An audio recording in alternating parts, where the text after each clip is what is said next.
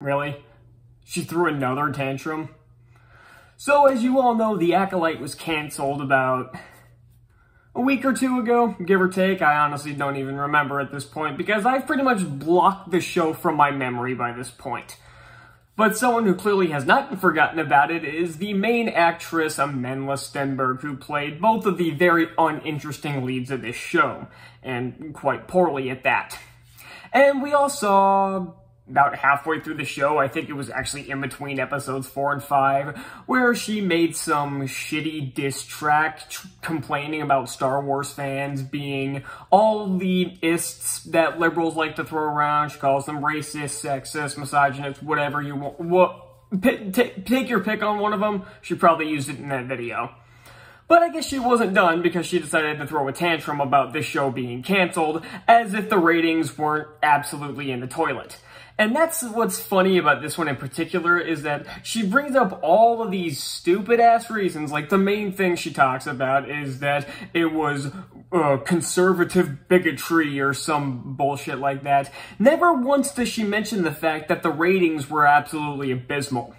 And apparently she's too stupid to realize that that's what gets shows canceled. It doesn't matter if they're hated. If the ratings are even just slightly high enough, it'll get a season two. And you know what I just realized, which is pretty funny, and just how bad this show was and how bad the ratings were for it to get canceled after one season, that Velma got a second season and this show didn't.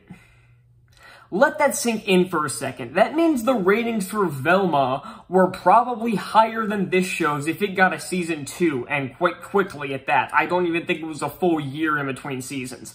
Which, you know, is used to how shows work until nowadays where each season takes two to three years to make. Or in the case of Stranger Things, it takes you five years to come out with a season, so... There you go. And again, never once brings up that the the abysmal ratings. The only time the ratings were even slightly high was episode 3, and that was the most trashed episode of television I've ever seen in my life. I mentioned this in the review, that people just flocked to that episode just to see how bad it actually was, to see all of the absolute dog shit that was shoved into a 40-minute episode of television. And so, and of course, the people have attacked all the other people that have made fun of this video, including Star Wars Theory, which is basically the reason why I'm making it too, because all of the Star Wars, or not the Star Wars fans, because this is the reason people didn't watch this show, is because Star Wars fans didn't want to watch the show. Actually, you know, that's something else I wanted to talk about, but I forgot about until now, so I'm going to get to this first.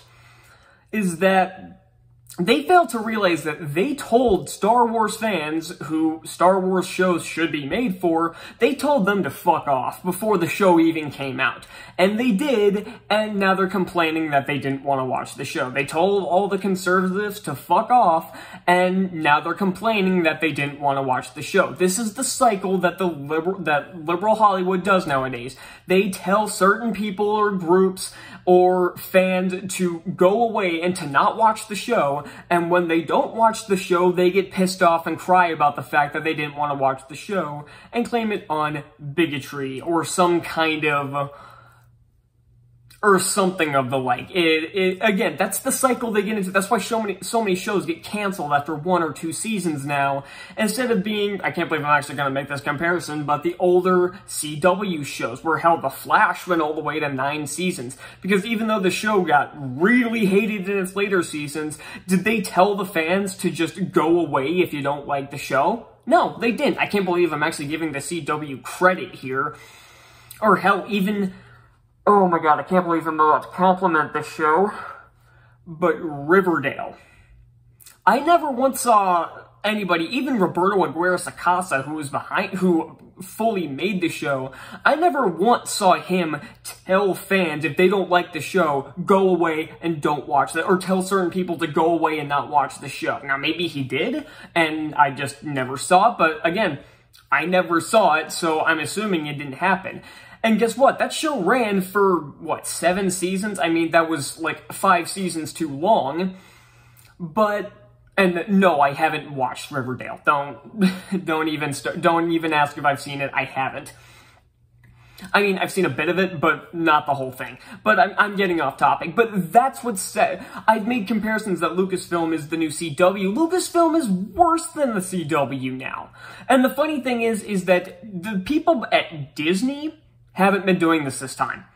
Instead, it's the it's the lead actress and it's the showrunner Leslie Headland. They're all blaming everybody but themselves.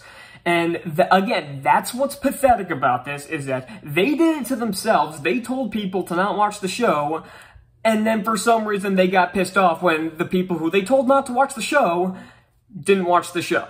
Or they warned people that they weren't going to like the show if you didn't want certain things, in, if you don't want pronouns in your Star Wars show.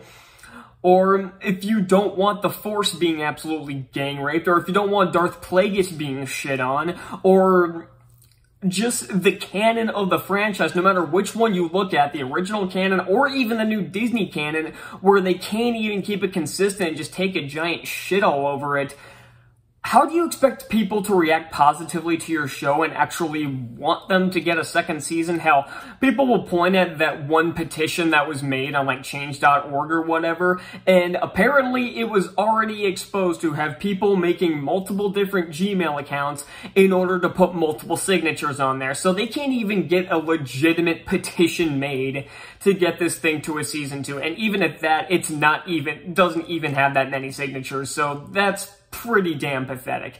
This show is probably the worst thing I've ever seen put on television. If I were to watch something like Velma or Santa Inc., I have a hard time believing it would be worse than this because this show was just